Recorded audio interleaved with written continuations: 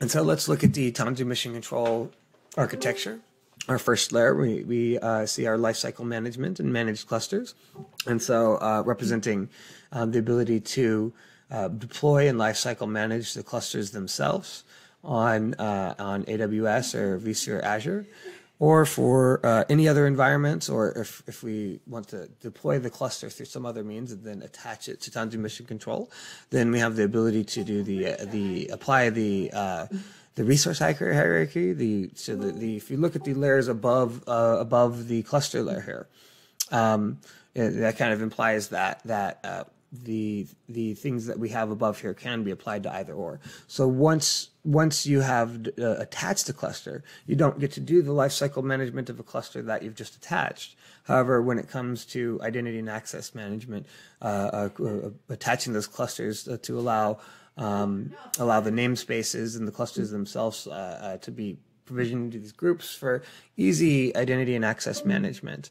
Um, as well as the policy engine, being able to apply security and network and image registry policies, um, namespace quotas, uh, et cetera, um, to, to the entire fleet. And so while uh, lifecycle management services themselves um, are, are limited to uh, just the clusters that you choose to have Tanzu Mission Control deploy on those platforms, any cluster is able to still take advantage of really this uh, uh, this the majority of this functionality from uh, available through Tanzu Mission Control. and so let's uh, uh, uh, take a, a, quick look at at um, how the attachment process works. So for attaching existing clusters, so I could have some cluster over here.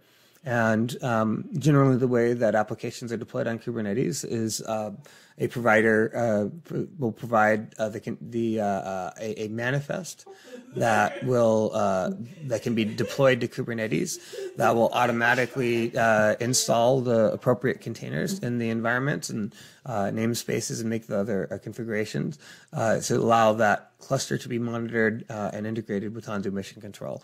And so. Um, when you come to the Tanzu Mission Control interface and you see I'm going to attach a cluster, it gives that very standard Kubernetes manifest that you can just copy and you can paste or you can um, hand to the administrator of that Kubernetes cluster to say, you know, here, if you can apply this to the Kubernetes cluster, it'll allow um, uh, the Tanzu Mission Control environment to have that that visibility and, and to be able to provide uh, uh, provide all the services that it's, it's capable of providing.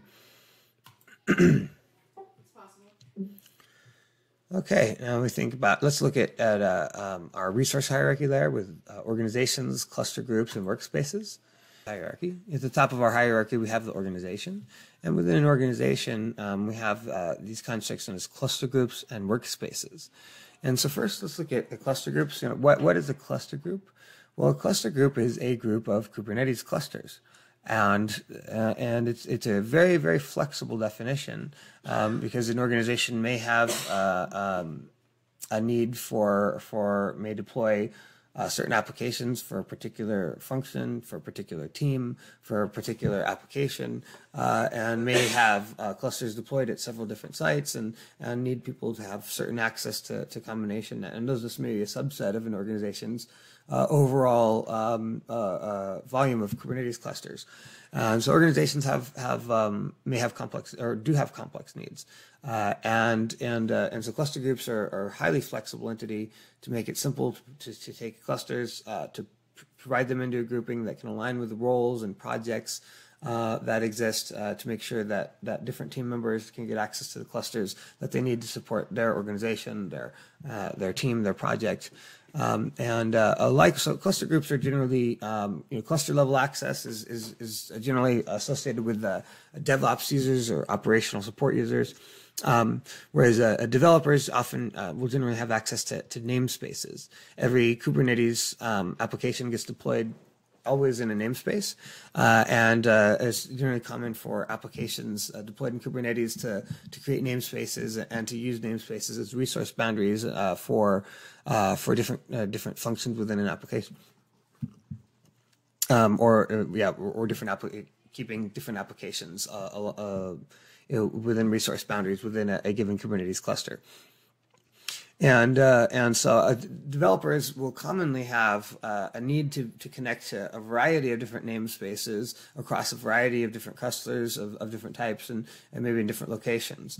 And so workspaces allows that flexibility to craft roles uh, and, and, groups uh, where that, that can be really an arbitrary combination. You know, any, any namespace they attach to Tanzu Mission Control uh, you can um, align with the workspace and, and, align that with the identity and access control.